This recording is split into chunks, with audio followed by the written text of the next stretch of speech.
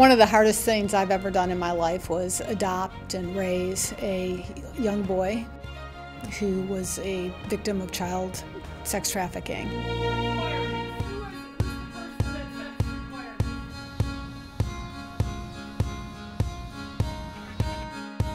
As a little Kurdish boy in Saddam's Iraq, I saw the need for healthcare and I wanted to help those in need, but I never thought I could come to America and pursue my passion.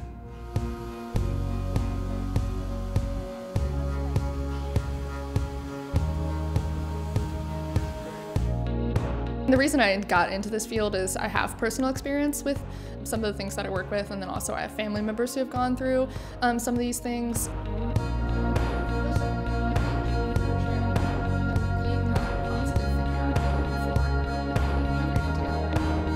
Surgery is taking on something that was going that is that's going to be difficult, but there's a way you can see a way through it.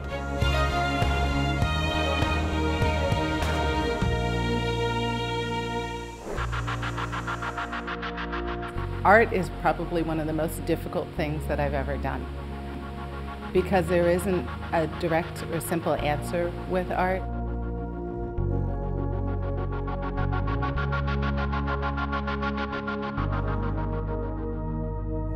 These neighborhoods that we're looking at, they are literally walking down the block to go swim into the James, right where it's polluted.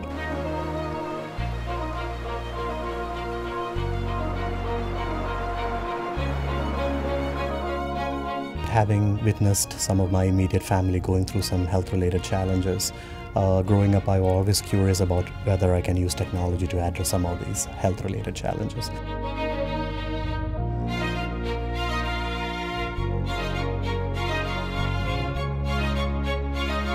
That experience that was so negative um, led to some really positive things, and I don't think I would be where I'm at if it hadn't been for that.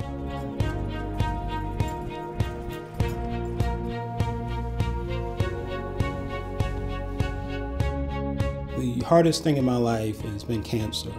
My uh, life partner was diagnosed several years ago.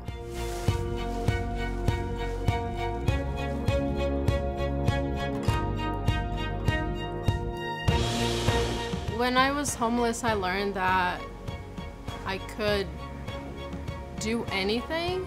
After it was over, I realized that I could go through anything.